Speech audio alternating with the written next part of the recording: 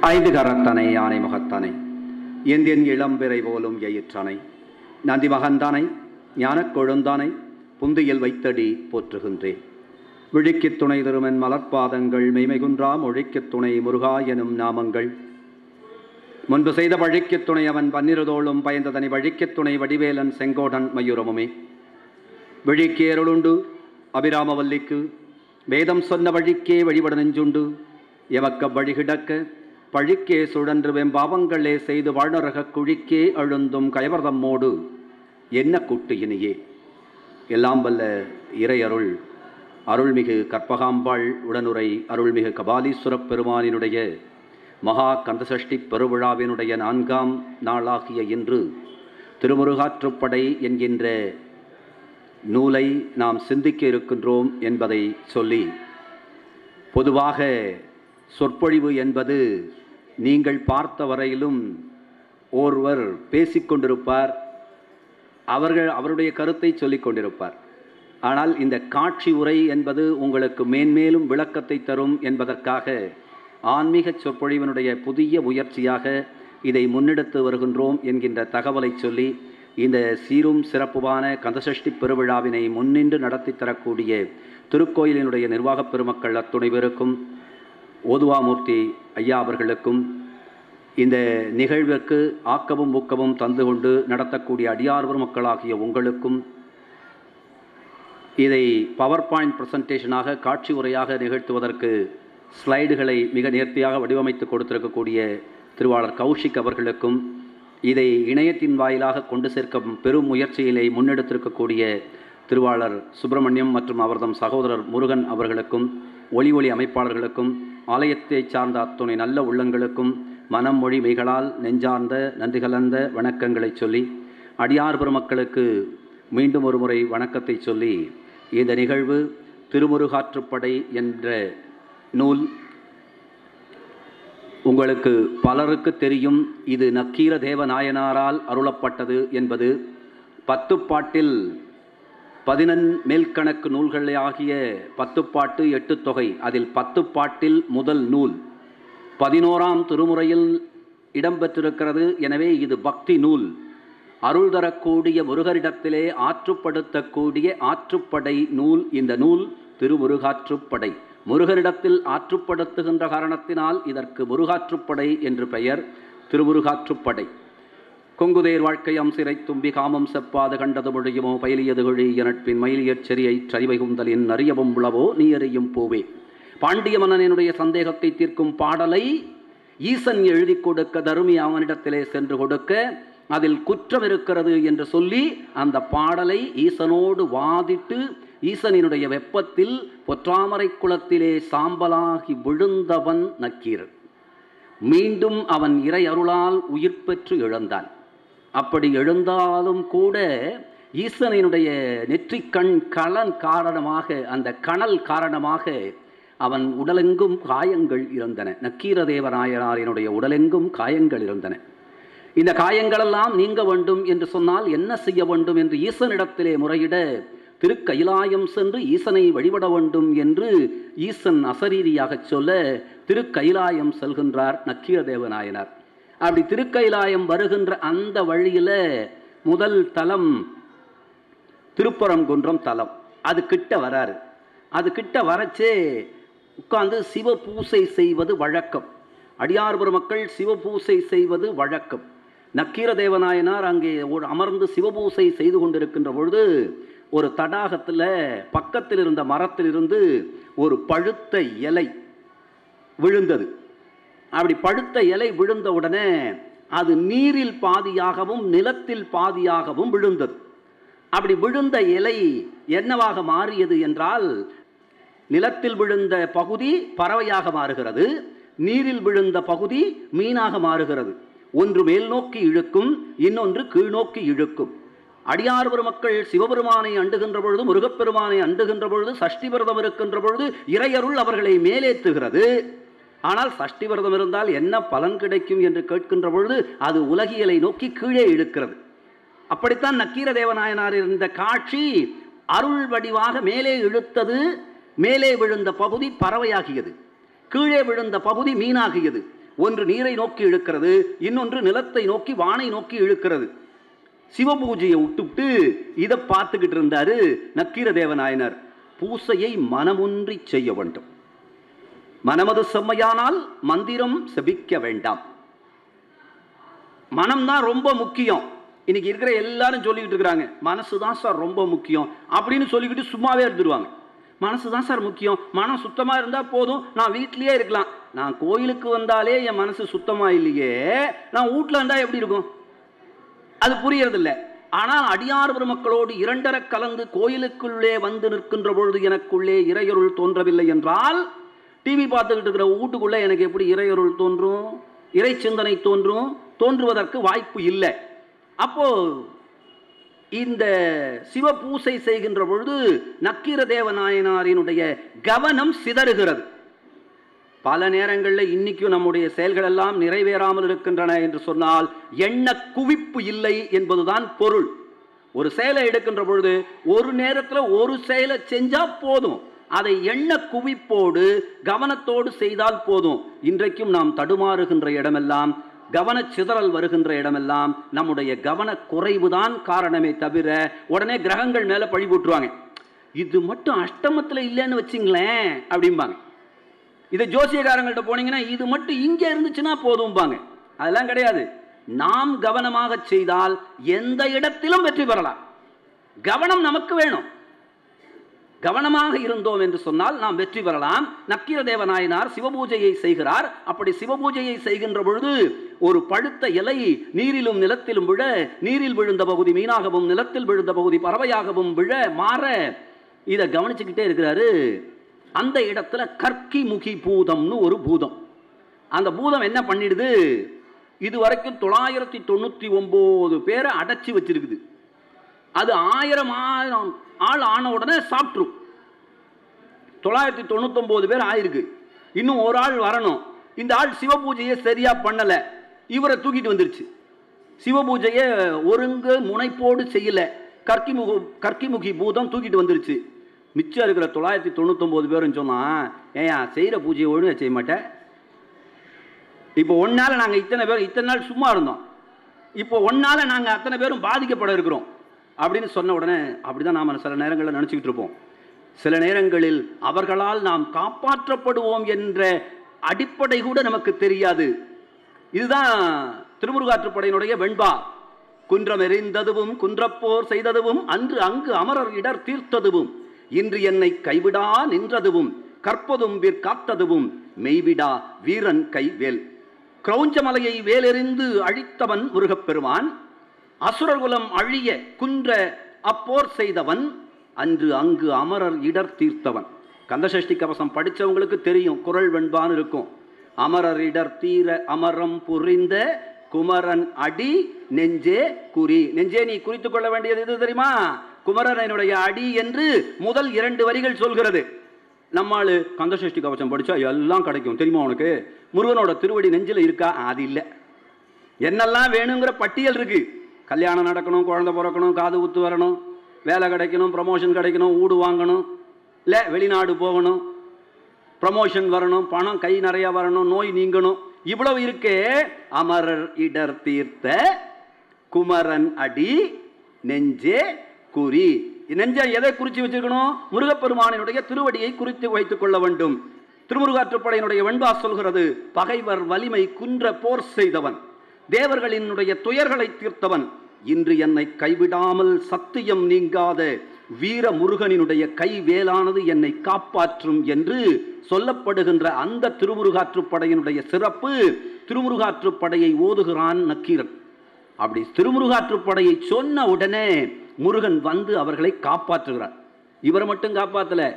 இவரோட இருந்த மிச்சம் இருக்கிற தொள்ளாயிரத்தி தொண்ணூத்தொன்பது பேரையும் எந்த ஒருவரால் நாம் அழிந்து விடுவோம் என்று தொள்ளாயிரத்தி தொண்ணூற்றி ஒன்பது பேர் பயந்தார்களோ அந்த ஒருவரால் அவர்கள் காப்பாற்றப்படுகிறார்கள். பல நேரங்களில் நீ பாட்டுக்கு வீட்டு வேலையை செய்யாமல் கோயிலுக்கே போயிட்டு இருக்கிறிய எப்படி நடக்கும் வீட்டு வேலை அப்படின்னு சில பேர் கேட்பாங்க. நாம் இங்கே வந்து வழிபடுவதின் காரணமாகத்தான் வீடு அங்கே நலமாகவே இருக்கிறது என்கின்ற உண்மை அவர்களுக்கு பல நேரங்களில் காலதாமதமாக புரியும். இது முதல் தலம். ஆறு படை வீட்டையும் திருமுருகாற்று படையிலே நக்கீர தேவநாயனார் அருளுகிறார். திருப்பரம் குன்றம். இது மூலாதார தலம். திரு பரம் குன்றம். திருப்பரம் குன்றம். இங்கே அருள்மிகு ஆவுடை நாயகி உடனாகிய அருள்மிகு பரங்கிநாதர் உரைகின்ற தலம். அதனால்தான் பரம்குன்றம் பரம்பொருளாகிய ஈசன் உரையக்கூடிய தலம் திருப்பரங்குன்றம் இது மூலாதார தலம் முதல் தலம்.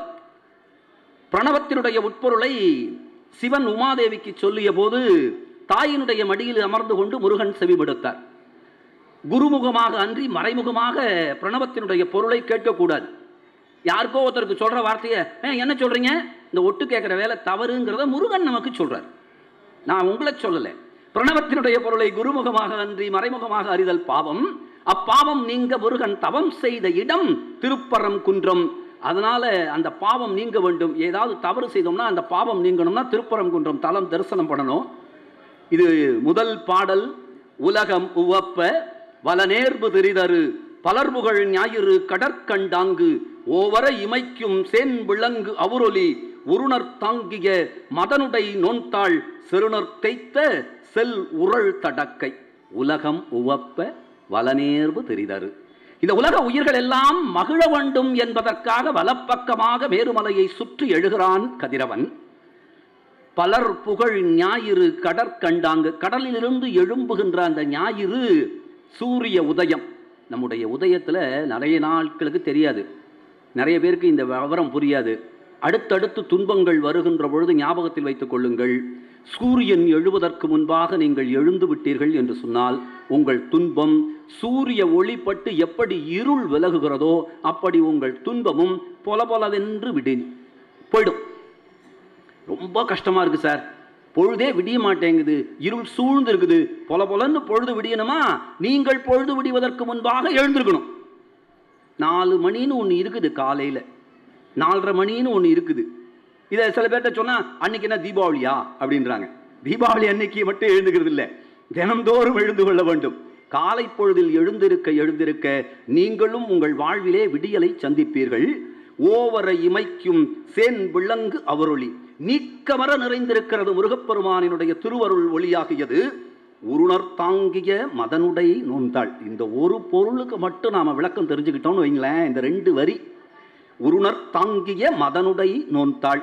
நம்பி வந்தவர்களை ஐயா உன்னையே கதின்னு வந்துட்டேன். ஆறு நாள் பச்சை தண்ணி பல்லுல படாமல் நான் ஒன்றும் விரதம் இருக்கல. நல்ல வயிறு முட்டை தான் சாப்பிட்ருக்கிறேன் ஆனாலும் உன்னை நம்பி வந்து கைதொழுது என்னுடைய துன்பங்களை எல்லாம் தீர்த்தருள் என்று உன்னை நம்பி கேட்கிறேன். நம்பி கேட்கின்றவர்களை ஈசன் ஒருபோதும் கைவிடவே மாட்டான். நம்பிக்கையோடு வந்தவர்களை பாதுகாப்பதும் அவர்களினுடைய அறியாமையை நீக்கி அறிவை புகட்டி ஞானத்தை தருவதும் முருகனினுடைய கைவேல். அவனுடைய திருவடி அதுதான் செய்யும். செருணர் தேய்த்த செல் உரள் தடக்கை. எதிரியாக யார் இருந்தாலும் சரி. சில நேரங்களில் நம்முடைய அறியாமையே நமக்கு எதிரியாக இருக்கும். சில நேரங்களில் நம்முடைய மனோபாவங்களே நமக்கு எதிரியாக இருக்கும். யார் என்ன என்ன பண்ண முடியும்? அகம்பாவம் எனக்கு எதிரியாக இருக்கும். அறிவு சில நேரங்களில் எனக்கு எதிரியாக இருக்கும். அகம்பாவம் எதிரியாக இருக்கும். சோம்பேறித்தனம் எதிரியாக இருக்கும். இப்படி எதிரிகளையெல்லாம் அறுத்து வேறு அறுத்து வெற்றிகளை குவிக்கக்கூடிய முருகன் எப்படி இருக்கிறான் தெரியுங்களா? மறுவில் கற்பின் வானுதல் கணவன். அவன் தெய்வ யானையினுடைய கணவன். தெய்வ யானையினுடைய கணவன் எப்படி இருப்பான்? தேவ மகளிராகிய தேவ யானையை கரம் பற்றியவன் எப்படி இருப்பான்? இனிமை தவழ அடியார்வர் மக்களுக்கு உதவி செய்வான். அது மட்டுமல்ல உருள் பூம் தந்தார் புரளும் மார்பினன். நக்கீர தேவநாயனார்ட்ட நான் ரொம்ப சந்தோஷப்படுறது. மாலையும் கழுத்துமா இருக்கிற ஒருத்தங்கிட்ட போய் ஒன்று கேட்டால் இல்லைன்னு சொல்ல மாட்டான். கல்யாணம் ஆகி ஒரு அஞ்சாறு வருஷம் ஆயிடுச்சுன்னா வேணா போயா போயா அப்படிமா ஆனால் மாலையும் கழுத்துமா வர மாப்பிள்ளையா வரான் பாருங்க அந்த பையன். அவங்ககிட்ட போய் ஐயா அப்படின்னா அப்படின்னு வேற ஒரு ஆளையாவது கை காமிச்சு எதனாச்சும் கொடுத்து விடுன்னு காட்டுவான். அதுபோல முருகப்பெருமானையும் நித்திய மணாளனாக பார்த்து உருள் பூவும் தந்தார் புரளும் மார்பினன் சூரர மகளிர் ஆடும் சோலை. பெண்கள் எல்லாம் இனிமையாக ஆடக்கூடிய அந்த சோலை சேவடி படரும் செம்மல் உள்ளமுடு நம்முடைய உள்ளம் எப்படி இருக்க வேண்டும் தெரியுமா? முருகப்பெருமானினுடைய திருவடி நம்முடைய உள்ளத்திலே படர வேண்டும் என்கின்ற எண்ணம் இருக்க வேண்டும். அந்த உள்ளம் இருந்தாலே நமக்கு வெற்றி கிடைக்கும். சேவடி படரும் செம்மல் உள்ளமுடு. நலம்புரி கொள்கை புலம்பிரிந்து உறையும் செலவு நீ நயந்தனை ஆயின். முடிவு பண்ணிட்டோம். எங்கேயாவது போகணும்னு ஊட்டி போகணும் கொடைக்கானல் போகணும் மலேசியா போகணும் சிங்கப்பூர் போகணும்னு நம்ம என்னைக்காவது ஆறுபடை வீட்டுக்கு போகணும்னு முடிவு எடுத்துருக்குறோமே? நம்ம மலேசியா போகணும்னா அங்கே யார் தெரிஞ்சவங்க இருக்காங்கன்னு பார்க்கறதில்ல. போனால் எல்லாரும் இருக்காங்க சார் பார்த்துக்கலாம் சார். ஆனால் எங்கேயாவது ஒரு கோயிலுக்கு போனால் மட்டும் சார் எங்கேயாவது யாராவது தெரிஞ்சவங்க இருக்கிறாங்க ஈஸியாக சாமி பார்த்துட்டு உடனே வெரசாக வர்றதுக்கு. இறைவனை எப்படி தெரியுமா தரிசனம் பண்ணணும்? வரிசையில் நின்று தரிசனம் பண்ணணும். ஏன் நிற்கணும் தெரியுமா? வெளியில் வேற எங்கேயும் நிற்கக்கூடாதுங்கிறதுக்காக அங்கே நிற்கணும் வேற எந்த இடத்துலையும் என்னை நிற்க வச்சிடாத. அதனால் இங்கே நான் நிற்கிறேன் கொடிமரத்துக்கிட்ட விழுந்து கும்பிடணும். எதுக்கு தெரியுமா? வேற யார் காலையும் விழுந்து கும்பிடுற மாதிரி வைக்காதையான்னு விழுந்து கும்பிடணும். வேற யார் காலையும் விழுந்து கும்பிட வேணாம். நான் உங்ககிட்ட விழுந்துடுறேன். என் தாயை தவிர என் தந்தையை தவிர வேறொருவர் காலில் விழவாமல் காப்பாற்ற வேண்டும் என்கின்ற விண்ணப்பத்தை வைத்து விழ வேண்டும். இங்கே செலவு நீ நயந்தனையாயின் புறப்பட வேண்டும்னு முடிவெடுத்துட்டேன் நன்னர் நெஞ்சத்து நன் இசை வாய்ப்பு. நல்ல நெஞ்சில் எண்ணிய விருப்பங்கள். ரொம்ப அற்புதமான விஷயம். கெட்ட நெஞ்சில் எண்ணிய விருப்பங்கள் இல்லை. நல்ல நெஞ்சம் எண்ணிய விருப்பங்கள். நெஞ்சு நல்லதா இருக்கணும். நிலம் நல்லா இருந்தால் தான் பயிர் நல்லா விளையும். நல்ல நெஞ்சத்தில் தான் நல்ல எண்ணம் விளையும். எண்ணம் போல வாழ்வு. நீங்கள் நல்ல எண்ணத்தை சில பேர் சொல்லுவாங்க சார் எனக்கு வாழ்க்கையே நல்லா இல்லை. முதல்ல நல்ல எண்ணத்தை வச்சுக்கோ அவ்வளோதான் நல்ல எண்ணத்தை கொண்டு வந்தீர்கள் என்று சொன்னால் எல்லாம் நல்லதாக இருக்கும். அவன் ஏதோ பண்ணுறானோ இவன் ஏதோ ஏமாத்துறானோ? இவன் ஏதோ திருடுறானோ என்று நாம நினைத்தாலே நமக்கு அதெல்லாம் நடந்துடும் எல்லாரும் நல்லவங்களா இருக்கிறாங்க. எல்லாரும் நல்லவங்களா இருக்கிறாங்க. எண்ணம் நலமானால் எல்லாம் நலமாகும். நன்னர் நெஞ்சத்து நன்னிசை வாய்ப்பு இன்னே பெருதி நீ முன்னிய வினையே. நீ நினைத்த காரியம் இப்போதே கைகூடும். அதுதான் திருமுருகாற்றுப்படையினுடைய சிறப்பு. ஒரு ஆள் ரொம்ப கஷ்டப்பட்டு வரான்னா கவலைப்படாத. நீ நினைச்சது இப்போவே நடந்துடும் ஆறு நாள் வரைக்கும் எதுக்கு வெயிட் பண்ணும் நாலாம் நாள் முடிஞ்சு அஞ்சாவது நாளே முடிஞ்சிடும் சூரசம்ஹாரத்தை நீங்கள் ரொம்ப ஃப்ரீயாக பார்க்கலாம். அப்படின்னு சொல்லக்கூடிய நக்கீர தேவநாயனாரினுடைய இந்த திருப்பரங்குன்றம் இப்படி நிறையுது. அடுத்தது திருச்சீர் அலைவாய் என சொல்லப்படுகின்ற திருச்செந்தூர். இது அது மூலாதார தலம். இது சுவாதிஷ்டான தலம். இந்த திருச்செந்தூர் பாலசுப்ரமணியர் இருக்கிறாரே அது கிழக்கு நோக்கிய திருமுகம். அது வெற்றி கோலம் இவருக்கு பேர் என்ன தெரியுங்களா? ஜெயந்திநாதர்னு பேர். இந்த ஜெயந்திநாதர்ங்கிற சொல் தான் செந்தின்னு மாறிச்சு. இந்த செந்திங்கிற சொல் மாற்றம் தான் மருவி தான் செந்தில்னு மாறிச்சு. இந்த செந்தில்ங்கிற சொல்லினுடைய மருவி தான் செந்தூர்னு மாறி திருச்செந்தூர்னு நாம் இப்போ வழங்கிக்கிட்டு இருக்கிறோம்.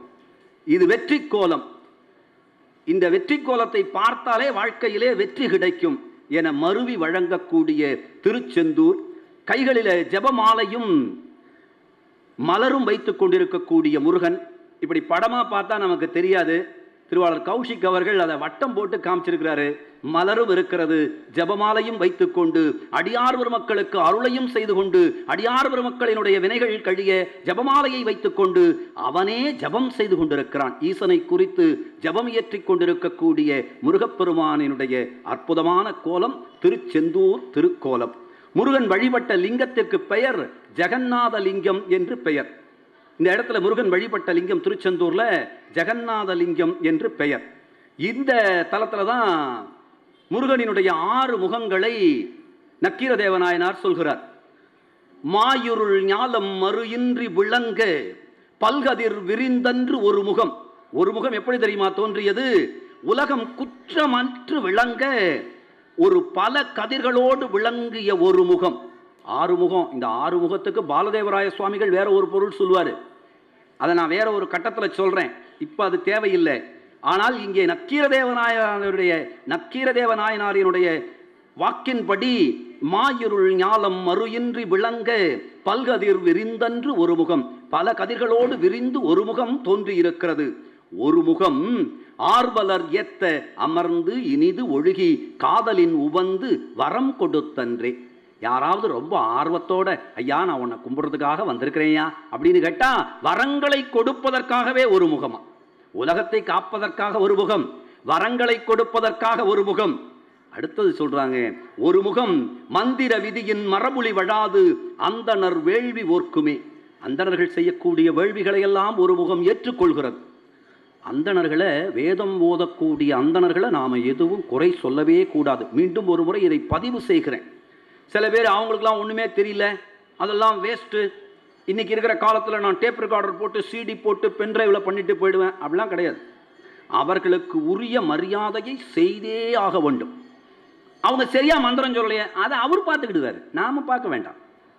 வாத்தியார் பாடம் சரியாக நடத்தலைன்னா அதை மாணவர்கள் கேட்க வேண்டாம். அதுக்கு மேலே இருக்கிற அதிகாரிகள் அதை பார்த்து கொள்வார்கள். வாத்தியார் சொல்கிறத கேட்கிறது தான் மாணவர்களோட வேலை. அந்தணர்களை வேதம் ஓதக்கூடிய அந்தணர்களை ஒருபோதும் நிந்திக்காதீர்கள். அது மிகப்பெரிய பாபத்தை கொண்டு வந்துவிடும்.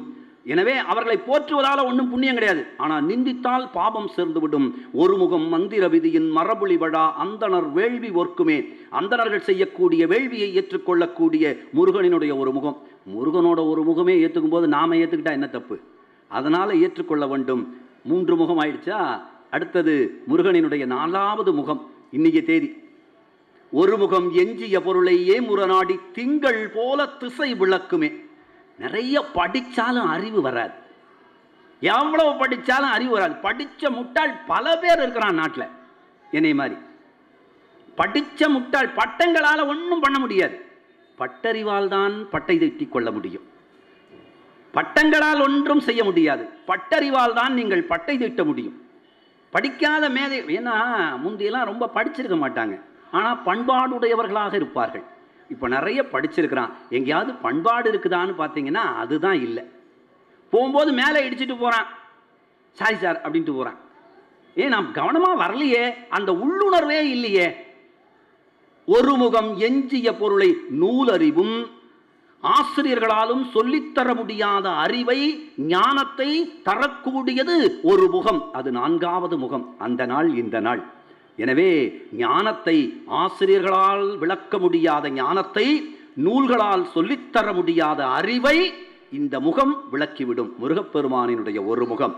ஒரு முகம் செருணர் தேய்த்து செல் சமம் முறுக்கி கருவுகள் நெஞ்சமுடு கள வேட்டன்றே எதிர்த்து வந்தா முருகப்பெருமானை எதிர்த்து வந்தால் களத்தில் நிற்பது யார் தெரியுமா? முருகன் நிற்பான். நம்மை ஒருவன் முருகனினுடைய அடியார்களை எதிர்த்து ஒருவர் வருகிறார்கள் என்று சொன்னால் நமக்காக களத்தில் நின்று போரிடுவதற்கு வீரபாகு தேவர் இல்லை. வேற யாரோ இல்லை. நமக்காக அவங்க போய் சொல்லுவாங்கங்கிறது இல்லை. முருகப்பெருமானே களத்தில் நிற்பான் கருவுகொள் நெஞ்சமுடு களத்தில் நிற்கக்கூடிய ஒரு முகம். அடுத்தது ரொம்ப அற்புதமான செய்தி. ஒரு முகம் குறவர் மடமகள் கொடிபோல் நுசுப்பின் மடவரல் வள்ளியோடு நகை அமர்ந்தன்றே. குறப்பெண்ணாகவே இருந்தாலும் கூட அவளினுடைய கொடி போன்ற இடையை பற்றி கொண்டு அவன் நிற்கக்கூடிய அழகு. ஏனென்றால் அம்பிகையோடு இருக்கக்கூடிய முருகன் அருளைத்தான் செய்வான் என்பதை மீண்டும் இந்த இடத்தில் வலியுறுத்துகிறார் நக்கீரதேவ நாயனார் இந்த ஆறு முகம் முடிஞ்சது. அதுக்கப்புறம் அவனுடைய பனிரெண்டு கரங்கள் முருகனினுடைய பன்னிரண்டு கரங்களும் வின்சலல் மரபின் ஐயர்க்கு ஏந்தியது ஒரு கை. அந்தனர் பெருமக்களை காக்க வேண்டும் என்பதற்காக ஒரு கை இருக்கிறது. இடையிலே வைத்துள்ள ஒரு கை. அப்படி இடுப்பில் கை வச்சுக்கிட்டு குழந்தைங்க நிற்கும்போது பார்த்தீங்கன்னா கொஞ்சம் பெரியவங்கள்லாம் நின்னால் அது நல்லா இருக்காது. தாத்தா எப்படி நிற்பாருன்னு ஒரு மூணு வயசு பையன்கிட்ட அஞ்சு வயசு பையன்கிட்ட கேட்டிங்கன்னா அவன் இடுப்பில் கை வச்சுக்கிட்டு தாத்தா இப்படி நிற்பாரு அப்படின்னு சொல்லுகின்ற பொழுது அழகாக இருக்கும். அப்படி முருகப்பெருமான் உக்கம் சேர்த்தியது ஒரு கை. இடையிலே ஒரு கையை வைத்துக்கொண்டு யார் உனக்கு எதிராக வருவார்கள்? நான் பார்க்கிறேன் என்று அவன் கேட்பது போல இருக்கிறது. ரெண்டு கை ஆயிடுச்சு. இன்னும் பத்து கை இருக்குது. மூணாவது கை பார்க்க போறோம். நலம் பெரு கலிங்கத்து குரங்கின் மிசை அசையது ஒரு கை. சில நேரங்களில் யார் அவனை என்ன சொன்னாங்க? நான் ஒரு கை பார்க்குறேன். அப்படின்னு அப்பா வேட்டியை மடிச்சு கட்டிக்கிட்டு வருவார்ல.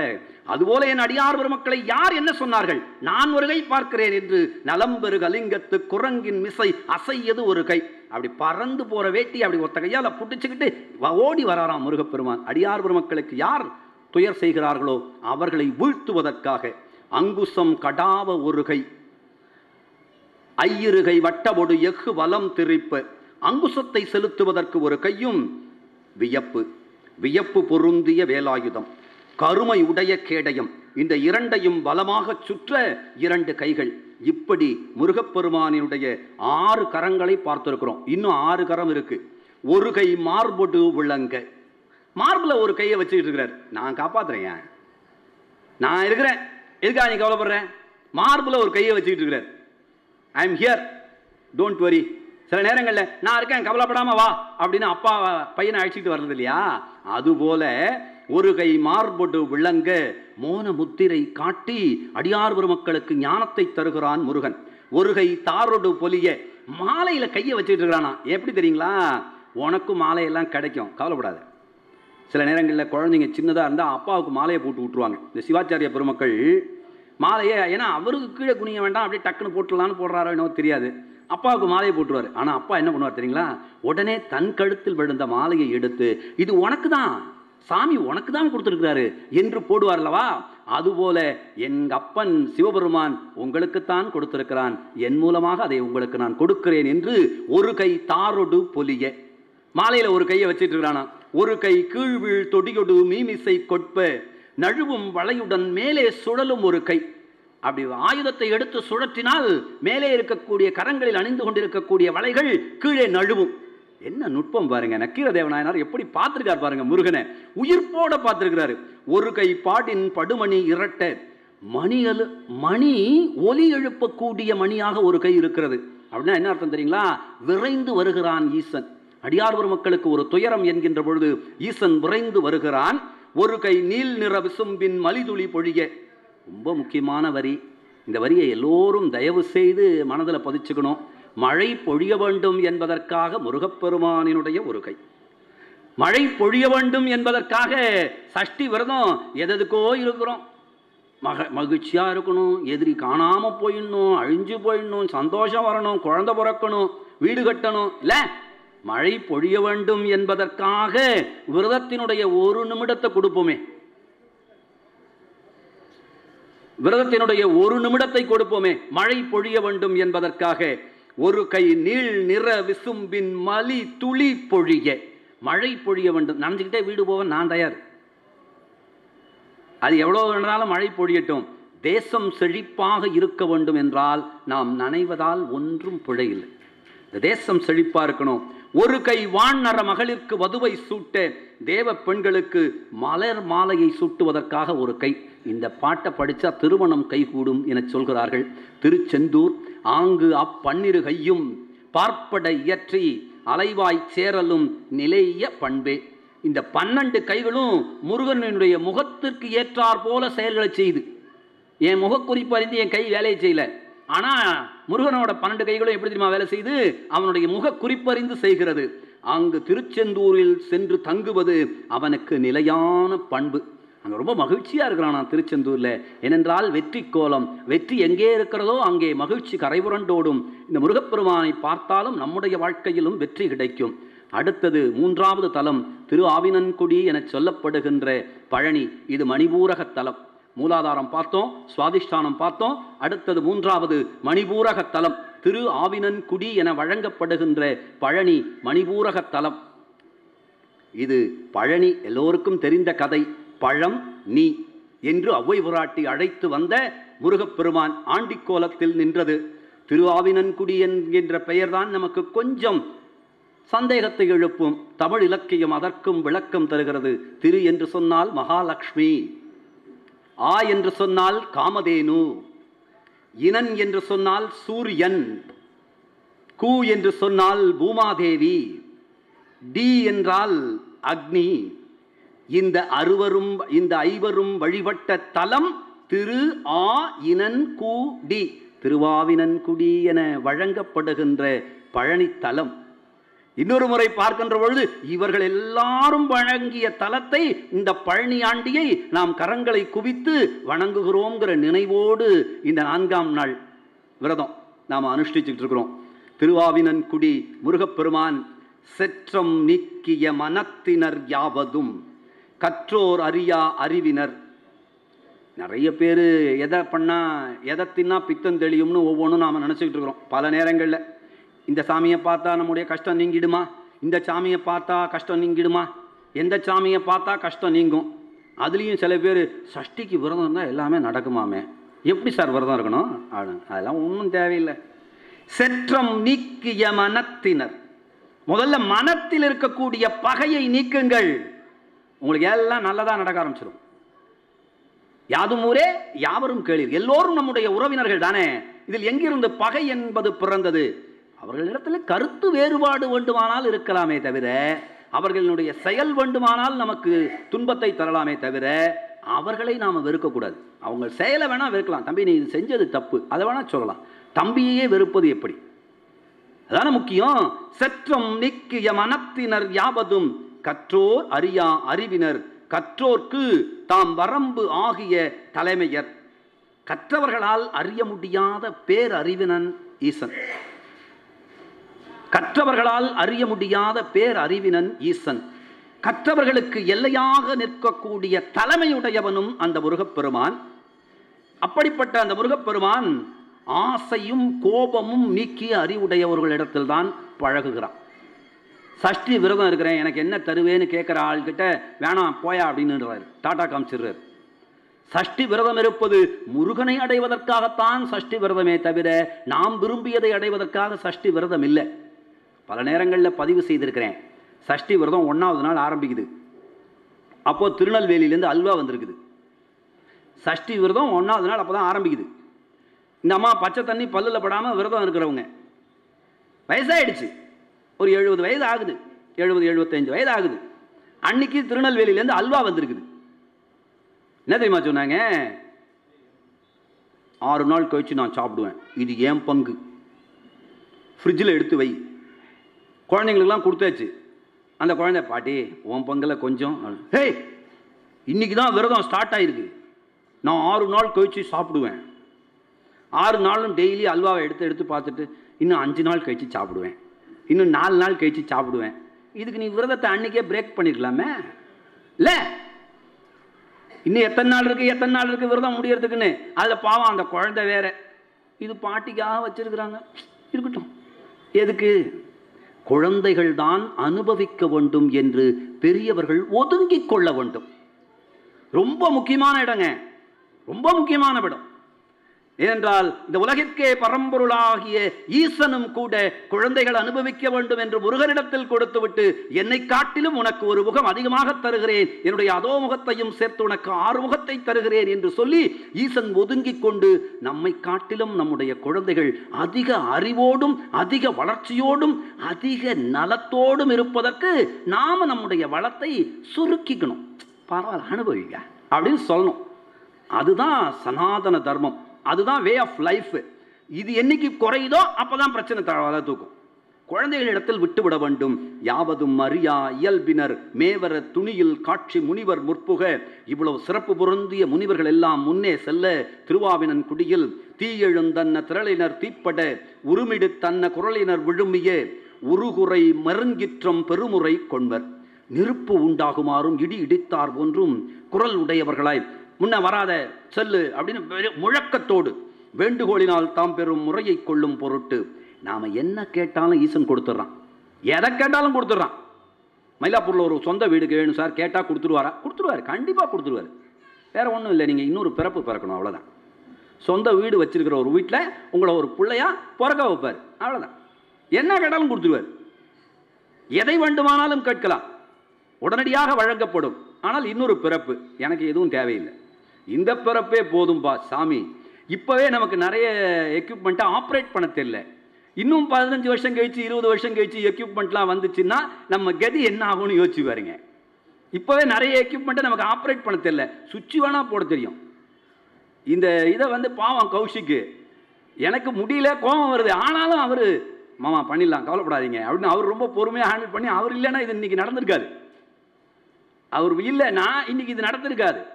ஏன்னா எனக்கு தான் இது வருமா வராதா என்ன பண்ண என்ன பண்ணேன்னு கேட்குறேன் அது வரும் கொஞ்சம் வெயிட் பண்ணுங்க. என்னை நம்புங்கன்றான். ஆனால் நமக்கு வரா வரைக்கும் நம்பிக்கை இல்லை. இன்ஸ்ட்ருமெண்ட்லாம் ஆப்ரேட் பண்ணுறது ரொம்ப கஷ்டமாக இருக்குது. அந்தர கொட்பினர் வந்துடன் காண ஆகாயத்தில் சுழற்சி உடையவர்கள் வந்து தரிசிக்க தேவாதி தேவர்கள் வந்து முருகப்பெருமானை தரிசிக்க தாவில் கொள்கை மடந்தையொடு சென்னாள் தெய்வயானையுடன் சில காலம் அங்கே தங்கி இருந்து திருவாவினன்குடியிலே மகிழ்ச்சியாக இருக்கிறான் ஈசன். அடுத்தது திருவேரகம் எனச் சொல்லப்படுகின்ற சுவாமிமலை அநாகத தலம் இது நான்காவது தலம்.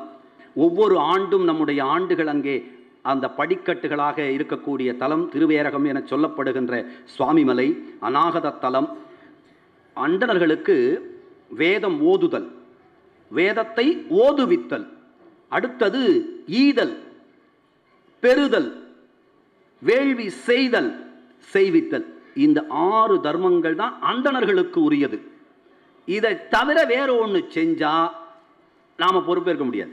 ஈசன் சொல்பம் அபியசிய தர்மஸ்ய. கொஞ்சம் போல தர்மத்தை செய்தாலும் நான் உன்னை காப்பாற்றுகிறேன். கண்ணபிராணனுடைய வாக்கு. முருகனோட மாமா. முருகனின் மாமன் சொன்ன வாக்கு சொல்பம் அபியசிய தர்மஸ்ய. கொஞ்சம் போல தர்மத்தை செய்தாலும் போதும். எது தர்மம்? வேதம் ஓதுதல் வேதத்தை ஓதுவித்தல்.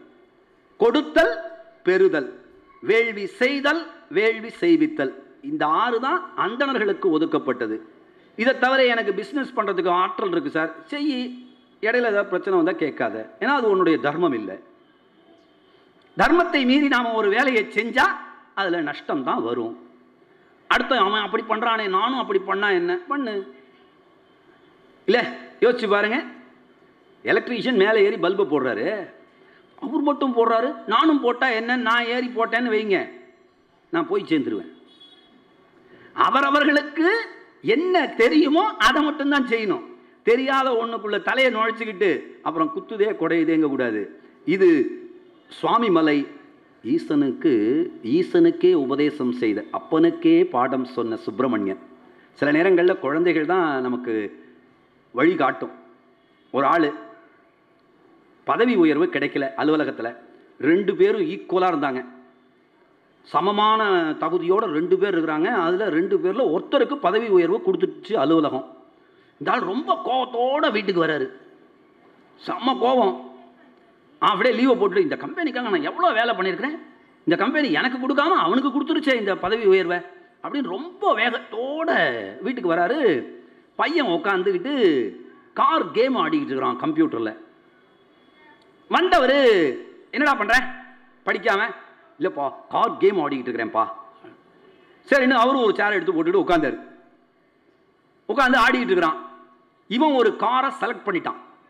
இந்த கார் கேமில் எப்படின்னா நாம் ஒரு காரை செலக்ட் பண்ணிடணும். அதுக்கப்புறம் அந்த காரில் நாம் பயணிக்கிறோம். அப்படின்னு கற்பனை பண்ணிக்கிட்டு அந்த காரை டிரைவ் பண்ணணும். அப்பா பையன் ஓட்டிக்கிட்டே இருக்கிறான். அப்பா பார்த்துக்கிட்டே இருக்கிறாரு. வரச்சே ஒரு வண்டி பையன் ஓட்டுற வண்டியை இடிச்சிட்டு முன்னால் போகுது. அப்பா சொல்கிறார் விட்டாத விட்டாத ஓவர்டேக் பண்ணு. அவன் நம்மளை இடிச்சான்ல அவனை நீ இடி. பையன் ரொம்ப கூலாக சொல்லிக்கிட்டே இருக்கிறான். அப்பா அவங்கள இடிக்கிறது நம்மோட வேலை இல்லைப்பா. நாம முன்னால் போய் ஜெயிக்கணும். அதுதான் நம்மோட நோக்கம். அடுத்தவர்களை கெடுப்பது நம்முடைய நோக்கம் அல்ல நம்முடைய வாழ்க்கையை செப்பனிட்டு கொண்டு முன்னே செல்வதுதான் நம்முடைய வேலை. நம்ம பல நேரங்களில் நான் என்னை சொல்கிறேன் உங்களை சொல்லலை. பல நேரங்களில் நான் அடுத்தவர்களுக்கு அறிவுரை சொல்கின்றேனே. என்னுடைய வாழ்க்கையை செப்பனிட்டு ஓட்டத் தெரியாத இடத்திலே நான் நின்று கொண்டிருக்கின்றேனே முருகா நீ வந்து இதை ஓட்டு என்று கேட்கின்றோம் ஈசனிடத்திலே விண்ணப்பம் வைத்து விட வேண்டும். அநாகத தலம் சுவாமிமலை அப்பனுக்கே பாடம் சொன்ன சுப்பிரமணியன் உரையக்கூடிய தலம். இந்த இடத்துல ரொம்ப சரியான வரி. உச்சி கூப்பிய கையினர். தலைக்கு மேலே கையை தூக்கிடணும்.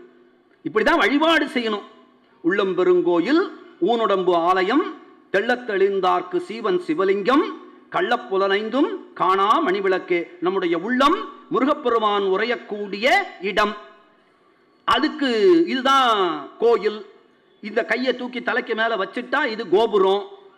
இந்த கோபுரத்துக்கு எப்ப திருக்குடமுழுக்கு விழா? இது நாள் வரையிலும் நான் முருகப்பெருமானை நினைக்கவில்லையே என்று நினைத்து கண்ணீர் சிந்தினால் அப்போ இந்த கோயிலுக்கு குடமுழுக்கு விழா. உச்சி கூப்பிய கையினர். இந்த இடத்துல ஒரு கரெக்ஷன் சொல்லிடுறேன். தலைக்கு மேலே கையை வச்சுக்கிட்டு கும்பிடணும்னு நான் சொல்லிட்டேங்கிறதுக்காக நீங்கள் சாமி வரைச்சே தலைக்கு மேலே கையை வச்சுக்கிட்டு கும்பிட்டுறாதீங்க. பின்னால் மறைச்சதுன்னா பாவம் வந்து சேர்ந்துடும். புரியுதுங்களா உங்களுக்கு? சாமியை நான் பார்க்கும்போது என்ன செய்வேன்? இது நாள் வரையில் நான் செஞ்ச பாவத்தெல்லாம் எடுத்துக்கோன்னு தூக்கி போடுவேன். ஏன்னா கிட்டக்க வந்து கொடுக்க முடியல. எட்டக்க நின்றுட்டு இருக்கிறேன். நான் செஞ்ச பாவத்தெல்லாம் சாமி வச்சுக்கோப்பா. என்னால் முடியல. அப்படின்னு தூக்கி தூக்கி போடுவேன். நீங்கள் அந்த நேரம் கையை வேற கூப்பிட்டு வந்தீங்கன்னு வைங்க. நான் போடுற பாவம் உங்கள் கையில் சிக்கிக்கிட்டு உங்களுக்கு வந்துடும் அதனால் சாமியை கைகூப்பி தொழணும்னு உங்களுக்கு எண்ணம் வந்துடுச்சுன்னா நீங்கள் தான் கடைசி ஆளாக நின்றுக்கணும் உங்களுக்கு பின்னால் சுவரு மட்டும்தான் இருக்கணும். யாருக்கும் மறைக்குதான்னு பார்த்துக்கிடுங்க. ஐயா உங்களுக்கு நான் மறைக்கிறேனா? மறைக்கிறேன்னா நான் கையை தூக்க மாட்டேன். இங்கேயே வச்சுக்கிறேன். என் பாவமே அதிகமாக இருக்குது. இதில் நான் அடுத்தவங்க பாவத்தை வேற எடுத்துக்கிட்டு போய் என்ன பண்ணுறது அதனால் கையை மேலே கூப்பிட்றீங்கன்னா பின்னால் யாருக்காவது மறைக்குதான்னு ஒரு முறை கேட்டுங்க. ஐயா நான் கையை மேலே தூக்க போகிறேன் உங்களுக்கு மறைக்குதா? ஆமாம் ஐயா மறைக்குது. "ஆ, நான் தூக்க மாட்டேனே. பின்னால் ஆள் யாரையாவது பார்த்தா கூட தூக்கிடாதீங்க கையை. ஒன்றுமில்லை பாவத்தை தீர்க்க வந்த இடத்துல எதுக்கு புதுசாக பாவத்தை தூக்கிக்கிட்டு போகணும்? அதனால் செய்யாதீங்க. உச்சி குப்பிய கையிடர் தற்புகழ்ந்து ஆறெழுத்து அடக்கிய அருமறை கேள்வி நாயல் மருங்கின் நவிலப்பாடி முருகனை தலைக்கு மேலே கையை தூக்கி முருகனை புகழ்ந்து பாடிக்கொண்டு செல்கிறார்களாம். அஷ்டோத்திரம் சகசிரநாமம் திரிசதி இதெல்லாம் என்னது? வெறும் புகழ்ச்சி தான். புகழ்ச்சி தான். இது முருகனுக்கு உகந்தது அப்படின்னு சொல்லிட்டு இருக்கிறாங்க. இதுலெல்லாம் ஒரு அடிக்குறிப்பு இருக்கு. எத்தனை பேர் இதை கண்டுபிடிச்சோங்கிறதே தெரியல. இதை தெரிஞ்சுக்கிட்டோம்னா அஷ்டோத்திரம் படி சகசிரநாமம் படி திரிசதி படி உனக்கு எல்லாம் நல்லா நடக்கும் அப்படின்னு சொல்கிற நம்முடைய ம- சனாதன தர்மம் இருக்குல்ல அடிப்படையாக ஒரு விஷயத்தை சொல்லித் தருது. எல்லாரையும் புகழ்ந்துக்கிட்டே இரு உனக்கு எல்லாம் நல்லா நடக்குங்கிற ஒரு விஷயத்தை சொல்லி கொடுத்துக்கிட்டே இருக்குது போற்றி நமக போற்றி நமக. என்ன அர்த்தம்? வணக்கம். விழுந்து கும்பிடுறேன். இந்த ரெண்டு விஷயத்தை சாதாரண நடைமுறை வாழ்க்கையிலும் பயன்படுத்து என்று நூற்றி எட்டு முறையும் ஆயிரத்தெட்டு முறையும் முன்னூற்றி எட்டு முறையும் உங்களுக்கு சொல்லி சொல்லி சொல்லி சொல்லி நல்லா பண்றியே. வெரி குட் வெரி குட் நல்லா இருப்ப. வாழ்த்துக்கள் வணக்கம். அப்படின்னு சொல்லிக்கிட்டே இருந்தீங்கன்னா குழந்தைங்களும் உங்கள் கட்டுப்பாட்டில் இருக்கும். வரவங்களும் உங்கள் கட்டுப்பாட்டில் இருப்பாங்க. யோசிச்சு பாருங்க. இந்த ஒரு விஷயத்தை தான் லலிதா சகசிரநாமம் ஆகட்டும் முருகனினுடைய சகசிரநாமம் ஆகட்டும் திரிசதி ஆகட்டும் அஷ்டோத்திரம் ஆகட்டும் சொல்லி தந்துக்கிட்டே இருக்குது. ஆனால் இதெல்லாம் நாம் என்ன நினச்சிக்கிட்டோம்? முருகனோட அஷ்டோத்திரம். இது வாழ்க்கைக்கு இதுக்கு சம்மந்தம் இல்லைன்னு நினச்சிக்கிட்டு படிச்சுக்கிட்டு இருக்கிறோம். இல்லை? பசிக்கிற வயத்தை கொஞ்சம் கட்டுப்படுத்துறது எது? எழும்பி வரக்கூடிய கோபத்தை கட்டுப்படுத்தணுங்கிறதுக்கு பசியை கட்டுப்படுத்த சொல்லி ஒரு சின்ன டெக்னிக் சொல்லி கொடுத்துருக்குறாங்க சஷ்டி போது. ஆனால் நம்மால் நானே பசியில் இருக்கிறேன். முடிஞ்சு போச்சு. விரதம் விரதத்தினுடைய பலன் முடிஞ்சு போச்சே? கோவப்பட்டீங்கன்னா விரதத்தினுடைய பலன் முடிஞ்சு போச்சு. உச்சி கூப்பிய கையினர் தற்புகழ்ந்து முருகனை புகழ்ந்து ஆறெழுத்து அடக்கிய அருமறை கேள்வி. ஓம் சரவணபவா என சொல்லக்கூடிய ஆறெழுத்து மந்திரத்தை அருமறை கேள்வி. மறையை காட்டிலும் மேன்மையானது. வேற எதுவும் வேதங்கள்லாம் எனக்கு சொல்ல தெரியல சார். வேதங்கள்லாம் சொல்ல தெரியல. பயப்படவே தேவையில்லை. வேதம்லாம் என்ன இருக்கு? முருகனினுடைய நாமம் தான் வேதம். வேதத்தினுடைய உச்ச பொருள். கந்தா கடம்பா கதிர்வேலா கார்த்திகேயா குமரா குருபரா ஷண்முகா என ஏதாவது ஒரு நாமத்தை இடைவிடாது சொல்லிக் கொண்டிருங்கள். இடைவிடாது சொல்லிக் கொண்டிருங்கள். நீங்கள் செல்லுகின்ற வழியெல்லாம் உங்களை காப்பதற்கு முருகனினுடைய கைவேல் வந்து கொண்டே இருக்கும். அது நாயியல் மருங்கின் நவிலப்பாடி நா புரள சில பேர்லாம் பல காலம் ஓதினாலும் கூட அந்த நேரத்துக்கு நாமம் வராது. நான் சொல்கிறேன் அந்த நேரம்ங்கிறது உங்களுக்கு விளங்குதா? அந்த நேரத்துக்கு நாமம் வராது. நாம் இங்கே உட்காந்து முருகா முருகா முருகா முருகா முருகா முருகா முருகா முருகான்னு சொல்லிக்கிட்டே இருப்பேன். நான் போகிற அன்னைக்கு வந்து முருகா சொல்லு அப்படின்னா மேலேயும் கீழையும் பார்த்துக்கிட்டு நிற்பேன். முருகான்னு சொல்லு. எத்தனை முறை சொல்லியிருக்கிற? முருகான்னு சொல்லு. போகிற கதிக்கு புண்ணியமாகும். இப்படி பார்த்துக்கிட்டு இருப்பேன். ஒரு வயசானவர் போய் உட்காந்து அவர் நிறைய முருக நாமத்தை கந்தபுராணத்தை கரதல பாடமாக படித்தவர் முருகானு சொல்லு முருகானு சொல்லு முருகானு சொல்லுன்னு சுற்றி வர நின்றுக்கிட்டு நிறைய பேர் சொல்லிக்கிட்டு இருக்கிறாங்க. நம்மாள் மூன்ட்டாரு இன்னும் ரெண்டு எழுத்து தான் சீக்கிரமாக சொல்லுங்க. இன்னும் ரெண்டே எழுத்து தான் மூணு எழுத்தில் ஒரு எழுத்து சொல்லிவிட்டீங்க. இன்னும் ரெண்டு எழுத்து தான் எல்லாரும் சொல்லிக்கிட்டு இருக்கிறாங்க. இவரு ரூ அப்படின்னாரு. ஒரே கர ஒலி. எல்லாரும் கைத்தட்டி இன்னும் ஒரே ஒரு எழுத்து தான் வேகமாக சொல்லுங்க. முருகா முருகா சொல்லுங்க. நம்மால் வாயை திறந்து. மூ சொன்னாரா? ரூ சொன்னாரா? மனைவியை பார்த்து முருகலாம் ஒரு தோசை கொண்டா? அப்படின்னு. என்னைய மாதிரி ஆள் வேற எப்படி கேட்பான்? யோசிச்சு பாருங்க. முருகனினுடைய நாமத்தை இடைவிடாது சொல்ல வேண்டும். அப்படி இடைவிடாது சொன்னோம்னு சொன்னா தற்புகழ்ந்து ஆறெழுத்து அடக்கிய அருமறை கேள்வி நா இயல் மருங்கின் நான் புரண்டால் கூட முருகாங்கிற நாமம் வரணும். நான் சில நேரங்களில் பிறலும். ஆனாலும் தவறுதலாக கூட முருகா என்கின்ற நாமம் உள்ளத்துக்குள்ளே தோன்ற வேண்டும். அடுத்த தலம் குன்றுதோர் ஆடல் எனப்படுகின்ற திருத்தணி ஆக்ஞை தலம் இந்த தலம் ரொம்ப சிறப்பு. ஆனால் இந்த தலத்துக்கு பல சிறப்புகள் இருக்கிற இடத்துல நான் ஒரு சிறப்பு சொல்கிறேன் சூரசம்ஹாரம் அங்கே கிடையாது. அது ஒரு சிறப்பு. இன்னொன்று தெரியுங்களா? கோபம் தனிந்த இடம் இந்த இடம். முருகப்பெருமானினுடைய கோபம் தனிந்த இடம். எனக்கு சட்டுன்னு கோபம் வந்துடும் சார். அப்படின்னு சொல்கிறவங்க உடனடியாக போய் வணங்க வேண்டிய இடம் இதுதான். கோபம் தான் நம்முடைய எல்லா விதமான தீமைக்கும் முதல் ஆணி வேர். ஆங்கருங்கிற வேர்டு இருக்குல்ல? அது ஒரே ஒரு லெட்டர் கம்மியாக இருக்குது. டி மட்டும் அதுக்கு முன்னால் சேர்த்துட்டிங்கன்னா கரெக்டாக பொருள் புரிஞ்சிடும் உங்களுக்கு. ஆங்கர் வந்தாலே அந்த டியை சேர்த்து சொல்லி பாருங்க. அதுதான். கோபம் எழுமானால் யாரெல்லாம் கோபத்தை எனக்கு சட்டுன்னு வந்துடும் சார். மூக்குக்கு மேலே கோபம். ஒன்றும் இல்லை. நஷ்டம் அடைய போகிறீங்கன்னு அர்த்தம் அவ்வளோதான் கோபம் வந்தால் செல்வ வளம் நிற்காது. எனக்கு நிறைய செல்வம் வேணும் சார். கோபப்படாதீங்க. அவ்வளோதான் கோபப்பட்டால் செல்வம் போயிடும். கோபமே படக்கூடாது. செரு தனி. செருனா போர்க்களம் சண்டை கோபம் அது தனிந்த இடம் செரு தனி அதுதான் செருத்தனி அது காலப்போக்கில் மருவி திருத்தணி என மருவி வழங்கப்படுகிறது. திருத்தணி. செரு கூட்டல் தனி செருத்தணி அதுதான் திருத்தணி என இன்றைக்கும் வழங்கப்படுகிறது. அங்க சூரசம்ஹாரம் கிடையாது. இன்னைக்கு சொல்லிக்கிட்டு இருக்கிறாங்க. செவ்வா வந்து சவப்பா இருக்குதுன்னு. மேலே போய் செயற்கைக்கோள் போய் படம் பிடிச்சி அழைச்சிக்கிட்டு வந்து இங்கே வந்து பெரிய அறிவியலாளர்கள் எல்லாம் அதை பார்த்து தொழில்நுட்ப கருவியை எல்லாம் பயன்படுத்தி அதுக்கப்புறம் சொல்கிறாங்க செவ்வா செவப்பாக இருக்குது செவ்வா கிரகம்னு. ஆனால் முருகனுக்கு வைக்கின்ற பொழுதே கௌஷிக் ரொம்ப பாராட்டணும். மாமா செவ்வாய்க்கிழமையாக வேற இருக்குது. முருகனுக்காக வேற இருக்குது. ஸ்க்ரீனை அப்படியே செவப்பாக மாற்றிடுறேன் அப்படின்னு சொல்லி ரெட் கலர் ஸ்க்ரீனு முருகனுக்கு உகந்த ஆடை. இது திருத்தணியில செய்யன். சிவந்த ஆடையன். அவனே சிவப்பானவன் சிவந்த நிறமுடையவன். செந்நிற ஆடையை விரும்பி அணியக்கூடியவன். சிவந்த நிற அசோக மரத்தினுடைய தளிர்களைப் போல அசையும் காதுகளை உடையவன். அவனுடைய இவ்வளோ சிறப்பாக கொதிச்சு போய் நிற்கிறானே ஆனால் காது தளிர் போல இருக்கிறது. அடியார் பெருமக்கள் சொல்லக்கூடிய விண்ணப்பங்களை எல்லாம் கேட்டுக்கொள்ள வேண்டும் என்று முருகப்பெருமான் முடிவு செய்து விடுகிறான். அற்புதமான தலம் இந்த திரு திருத்தணி தலம். செய்யன் சிவந்த ஆடையன் செவ்வரை செயலை தந்தளிர் துயல் வரும் காதினன். இப்படி எல்லா விதமான இன்பங்களையும் வழங்கக்கூடிய திருத்தணி அடுத்தது பழமுதிர்ச்சோலை என்கின்ற தலம். இது திருமாலிருஞ்சோலை மலையாகிய அழகர் கோயில். ரொம்ப விசுத்தி தலம். சிறுதினை மலரொடு விரை மறி அறுத்து வாரணக் கொடியொடு வயிற்பட நெறியி ஊர் ஊர் கொண்ட சீர்கழு விழவினும். நிறைய இடங்களில் விழா எடுத்தால் அது முருகப்பெருமானினுடைய சிறப்பாக தான் இருக்கும். முந்தியெல்லாம் முருகப்பெருமானுக்கு எடுக்கக்கூடிய விழாக்கள் தான் சிறப்பாக பேசப்பட்டிருக்கு. அப்புறம் அப்புறம் தான் மற்ற மற்ற விழாக்கள் எல்லாம் தோன்றி இருக்கின்றன. திணை அரிசியை பூக்களோடு கலந்து அதுக்கப்புறம் ஒரு செய்தி சொல்கிறாங்க உயிர் பலி கொடுத்து கோழிக்கொடியோடு விழாக்கோலம் பூணச் செய்கிறார்கள். ஒரு களம் அமைக்கிறார்கள். விழாக்கோலத்திற்கு களம் அமைக்கிறார்கள். ஒவ்வொரு ஊரிலும் மேற்கொண்டு சிறப்பு பொருந்திய விழாக்களிலும் அன்பர்கள் துதித்து வழிபட விரும்பி செல்லும் இடங்களிலும் பூசாரி அமைக்கும் வெறியாட்டு களத்திலும். எங்கெல்லாம் விழான்னு ஒன்று வச்சா அங்கெல்லாம் முருகன் போய் விளையாடுறான் என்றைக்குமே வீட்டில் விழான்னா யாருக்கு கொண்டாட்டம்? யோசிச்சு பாருங்க. குழந்தைகளுக்கு தான் கொண்டாட்டம்.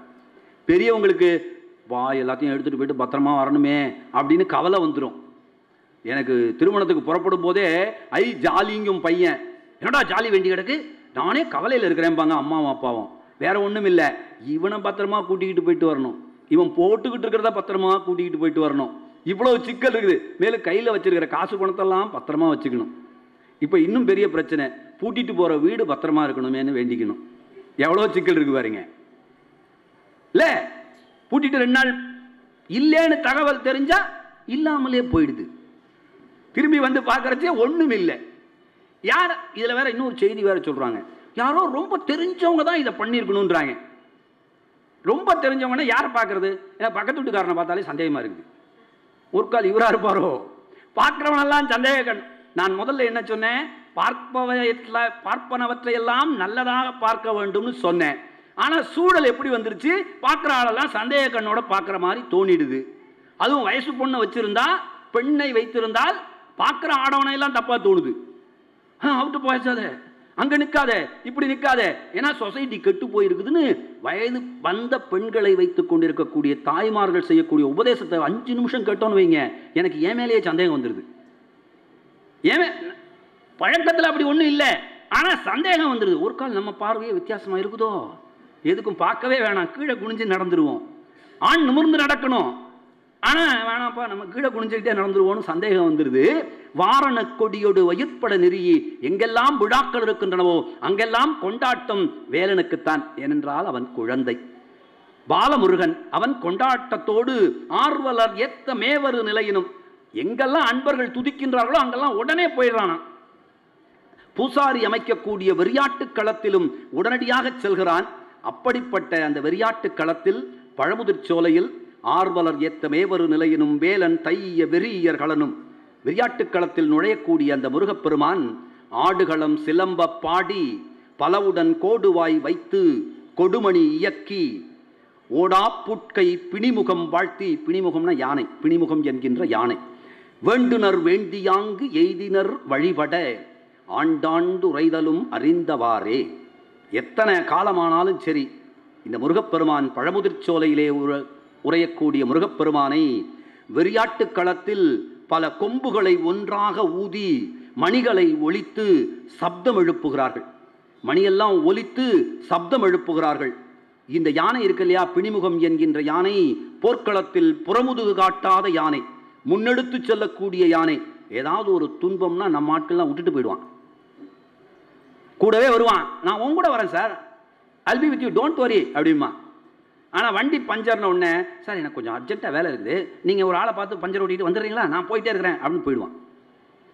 நம்மோட பயணிக்கின்ற போதெல்லாம் ஒன்றாக வரக்கூடியவர்கள் நமக்கு ஒரு துன்பம் என்றால் விட்டு சென்று விடுவார்கள். ஆனால் இறையருள் எப்படி தெரியுமா? நாம் இன்பம்னா நம்மளை விட்டுடும். நாம் இன்பமாக அனுபவிக்கிறோம்னா நம்மளை விட்டுடும். துன்பம்னு வந்தால் உடனே அரவணைத்து அந்த துன்பத்தில் பங்கெடுத்து கொள்ளக்கூடிய ஆற்றல் இறையருளுக்கு மட்டும்தான் உண்டு. அதனால்தான் இதே தன்மையோடு இருக்கக்கூடிய தாய் இறைவனை காட்டிலும் மேலானவள்.